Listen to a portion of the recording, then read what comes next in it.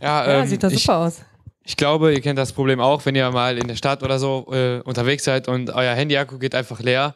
Ähm, und das ist halt einfach nervig, wenn man dann auch keine Steckdose in der Nähe hat. Und äh, das Problem nervt uns auch. Und deswegen haben wir uns äh, eine Lösung dafür überlegt. Und unsere Lösung dafür ist die Powerbox.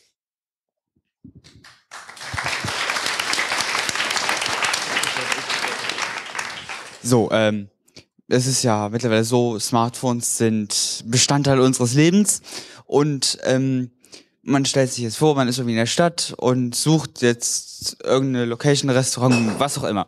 Und dann ist das Handy leer oder so. Und man hat keine Powerbank dabei, aber ist aufs Handy angewiesen. Und dann ist genau das da, dieser, wie auch immer man ihn bezeichnen will, Kasten. Powerbox da, ähm, die ähm, eine ziemlich revolutionäre ähm, Neuheit ist, da es sowas ziemlich selten gibt und wenn auch oft sehr versteckt. Das Ganze ist halt ein Schließfach zum Laden von jeglichen USB-Geräten. Ähm, das Ganze zeichnet sich dadurch aus, dass man ähm, die, dass die Geräte möglichst schnell immer geladen werden.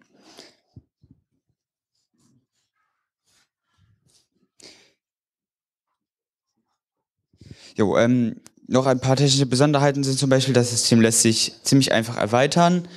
Ähm, da also, wir haben es versucht, möglichst modular zu gestalten.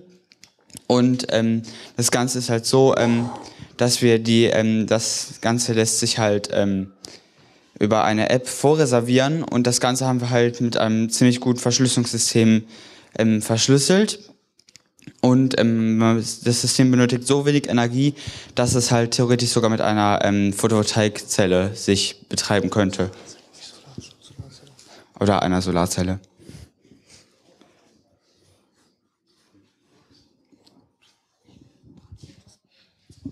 So, ähm, ich war für die Benutzeroberfläche und die Verbindung zum äh, Server zuständig und zeige euch jetzt kurz die Benutzeroberfläche.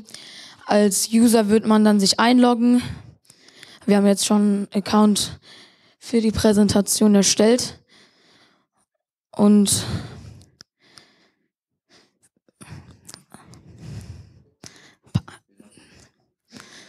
äh, ähm, und dann kommt man auf die ähm, auf eine Seite, wo dir alle Powerboxen in deiner Nähe angezeigt werden. Wir haben jetzt natürlich nur eine, die Powerbox Köln-Riel.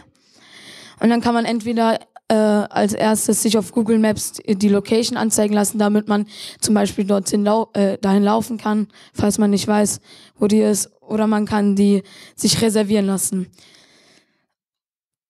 Okay, man sieht, die Box wurde für 15 Minuten reserviert und man bekommt einen Code, mit dem man die Powerbox aufschließen kann.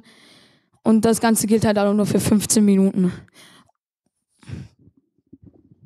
Also, Sie müssen sich vorstellen, Sie äh, haben diese Box gerade reserviert und kommen dann an und sehen dieses rote Licht.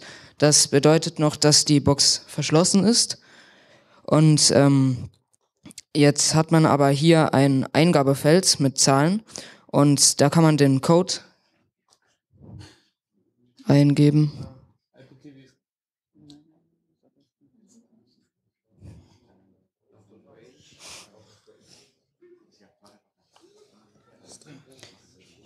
Ja, jedenfalls, da kann man den Code eingeben, äh, den man dann bekommen hat. Das mache ich dann mal kurz. 3, 4, 8, 2. Und dann sieht man schon, äh, dass die Farbe sich hier auf grün gewechselt hat und dass sich die Box aufgeschlossen hat. Und dann kann man äh, sein Handy dort reinlegen, auch anschließen, sodass es halt geladen wird und macht die Box dann danach wieder zu. Und äh, die wird dann durch ein elektronisches Schloss verriegelt.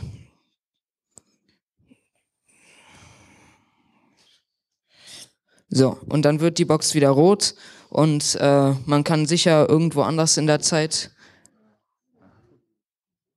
äh, man kann sicher irgendwo anders in der Zeit hingehen und äh, weiß, dass da sicher sein Handy drin ist.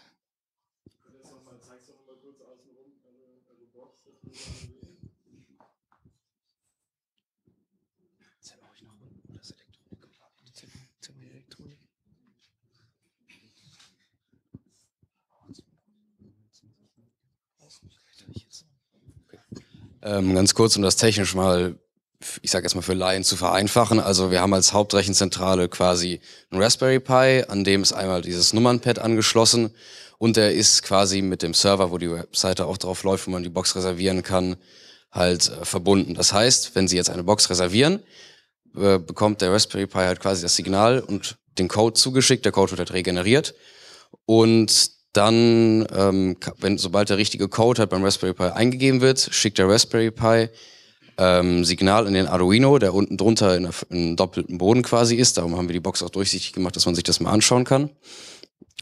Oh, okay. Und ähm, dann ähm, schaltet der Arduino halt die ähm, rote LED aus und die grüne an. Und gleichzeitig haben wir noch unten einen Stepper, also äh, Quatsch, einen Servomotor, ähm, der kann sich gerade genau bewegen. Und wir haben halt zwei ähm, Locations quasi festgemacht, also einmal eine Schließlocation, einmal eine Öffnungslocation. Das heißt, wir sagen dem, wenn der Code richtig eingegeben wurde beim ersten Mal, soll er in die Öffnungslocation gehen. Ähm, dann kann man halt die Tür aufmachen und wenn sie dann nochmal den Code eingeben, dann ähm, geht er halt in die Schließlocation und dann ist es halt wieder abgeschlossen und dann geht die rote LED wieder an. Ja.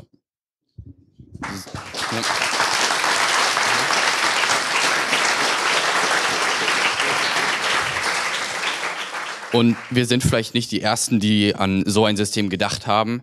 Aber wir sind der Ansicht, dass so ein System auf jeden Fall auch wegen der Kosten, wegen den äh, geringen Kosten für so ein System ähm, sehr breit organisiert werden könnte und auf jeden Fall ähm, viel Potenzial in der Zukunft hat, weshalb wir uns auch entschieden haben, äh, einen kleinen Prototypen an diesem Wochenende umzusetzen. Ja, vielen Dank für Ihre Aufmerksamkeit.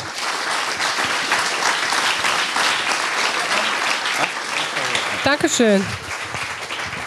Nehmt die schöne Box wieder mit.